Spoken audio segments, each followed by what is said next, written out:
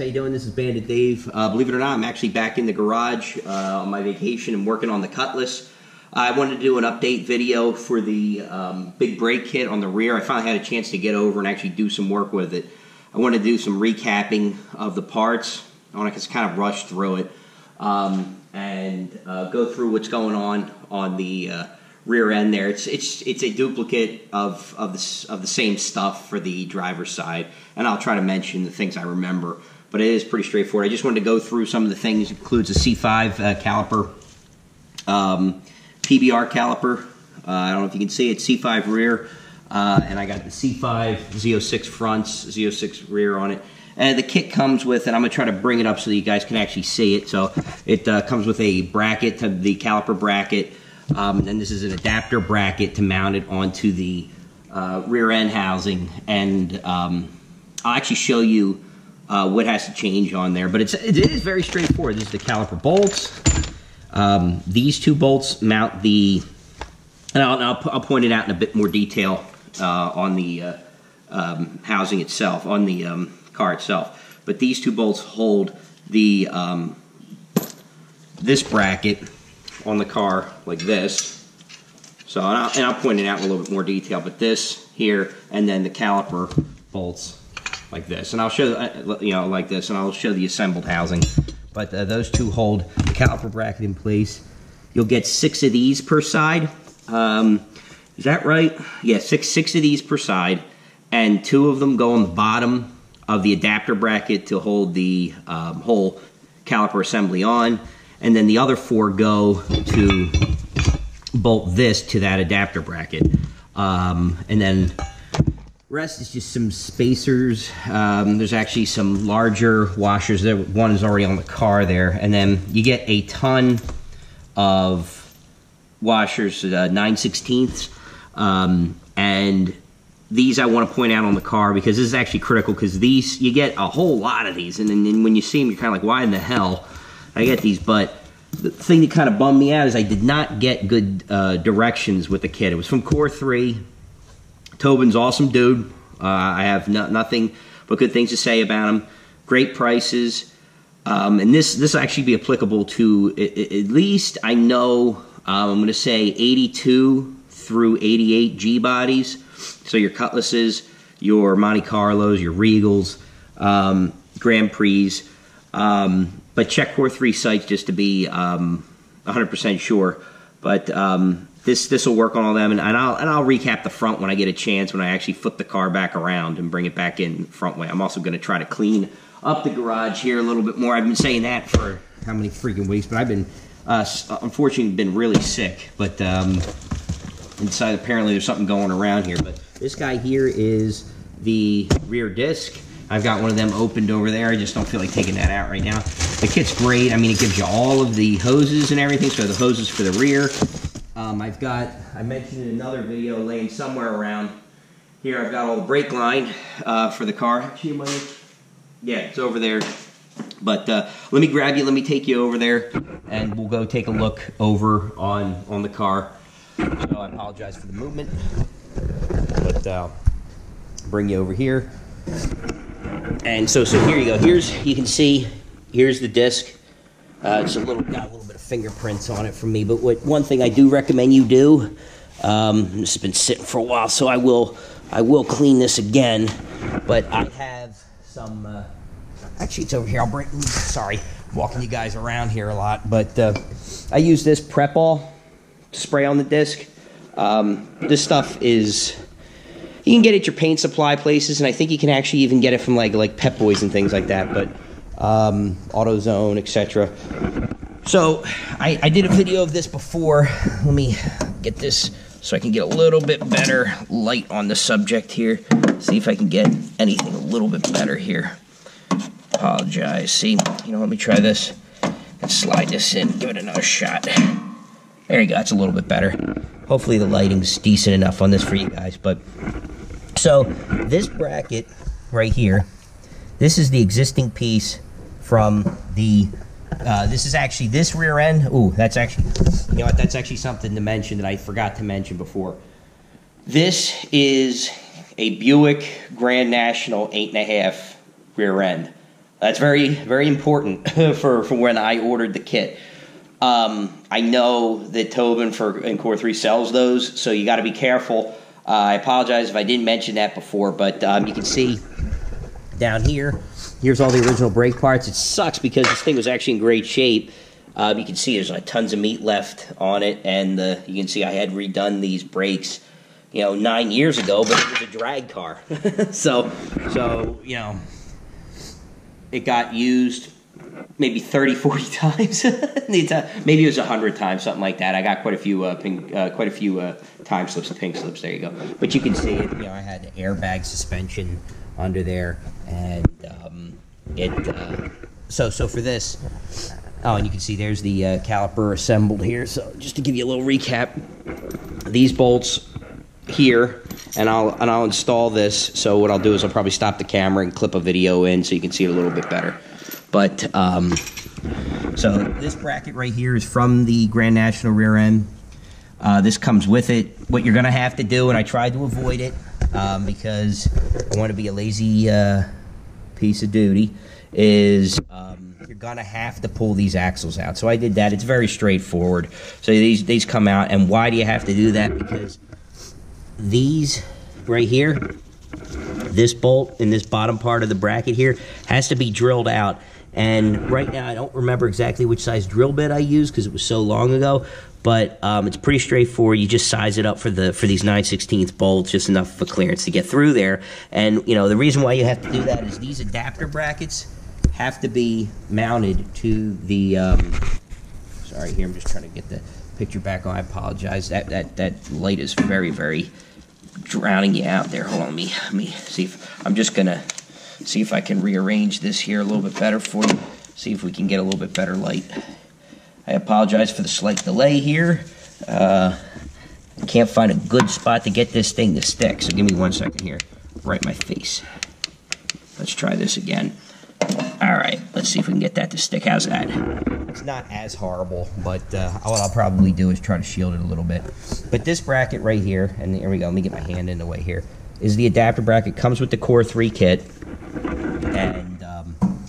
this this bracket comes around and it bolts in two spots down at the bottom. One over here. Come up from underneath here. See, sorry for the seasickness. There's one right here, and then there's another one right here is the second spot for it. This holds, and then right here is a big monster bracket. And you may have to clearance it a little bit, but it's really not that bad. Um, and um, this will hold that bracket in place. Now, I had mentioned something previously. When you take this off, some of these surfaces are not um, coplanar. So down here, I had to put two and I've got this little bucket down here.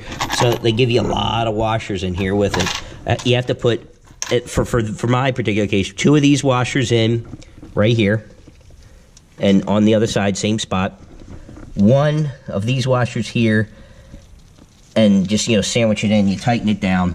That holds this bracket on. Then for this, I just have this bracket in place here Nothing too fancy here. It's just a washer on either side, and then I sandwich it in. And let me take you around the back here so you can see it a little bit better.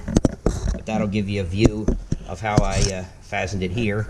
And I, am hopefully not making you guys seasick with this, but I wanted to give you a little bit better documentation of how this uh, how this whole thing goes together.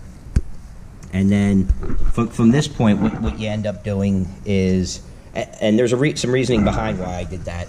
Um, originally, I had an extra one of these washers here and four washers spacing this out to bring this whole thing out. And that was all fine and dandy, except this was unbelievably close to the rotor when it was on the car. So, what I'm doing now is I'm reversing the location of that washer right there that you see on this guy. And I'm putting that to space out this caliper bracket. So, what that'll actually do is keep this from, from, um, um, I apologize with lost words here. So uh, it'll keep this guy from scraping on the backside of the rotor. So I'm going to install this caliper bracket. Um, one of the things I actually did before Goof, didn't realize it, uh, my own fault, um, is you got you have to install these clips prior to uh, putting it on there because then you won't be able to actually retain your uh, brake pads. So, um, since I'm um, in the process of trying to do that right now, what I'm going to do is put them in, and there's like these little clips that have to come in from the back side. So uh, I'm going to fumble around with that for a little bit and see if I can get this uh, bad boy to click in here properly. So I think that's about what we want. And we slide them in like that. That, boom, and you get a click. So that slides in. If you can see closely back in here, and I'm going to probably just use these. Uh, um, yeah, see, they're down in there pretty well, so I don't see that being an issue with that coming out or anything like that. But they're they're in there quite well, so you can see that's buried in there, and that's just a repeat. Same thing on the other side. So uh, grab the other one and take this guy you bring, I brought it in on a little bit of an angle so you can kind of pocket it in, and then you kind of lift it up and slide it in there like that. And now you probably didn't see any of that because I was probably blocking it like a moron. But uh, clicks in, pretty straightforward. If you look in here, I actually have a little bit of grease in there. That's what they ask you to do that uh, as part of the install procedure. So that, that, that basically finishes off this guy. So what I'm going to do is I'm just going to rest this down here for a second and uh, we'll go through probably speed this thing up a little bit. But I'm also going to put a little bit of uh, blue um, thread locker on here as well because uh, once these guys are on, they should be done being put on. So I apologize if I'm giving you a lot of clips action here, but um, I don't really want to put this thing together any more time or take this thing apart any more times than I already have.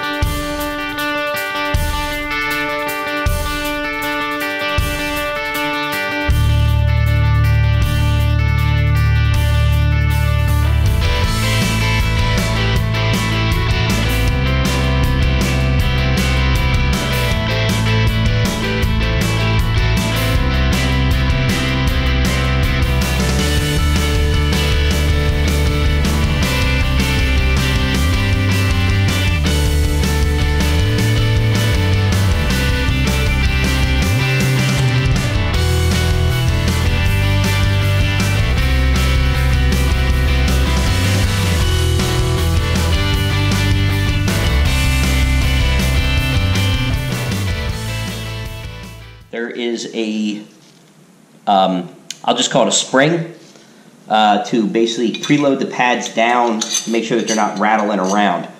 So um, this guy got them there. I got that on there. I don't think there's really anything else. So what we'll do is we're going to slide these over. We're going to slide the caliper over. We'll slide these through, and um, we'll end up tightening it up. So we'll put these guys in. So you can't see this, but you got these guys right here, and these will go in first, backside of the caliper bracket, and uh,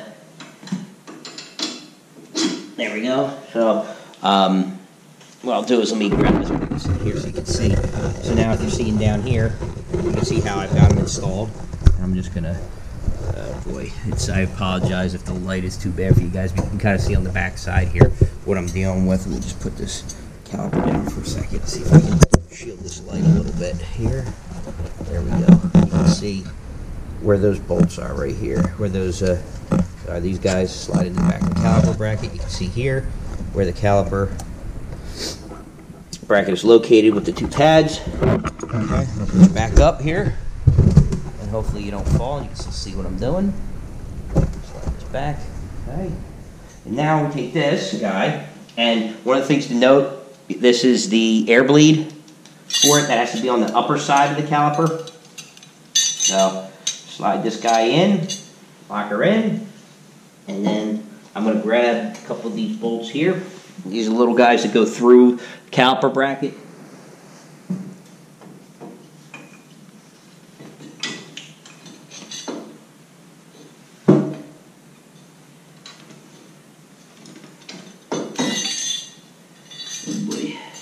And let's do, I'm actually going to slide I'm going to bend these, these down a little bit because for some reason they're not really doing a good job of staying in place when I go to mount the darn thing. So I'm going to bend these down a little.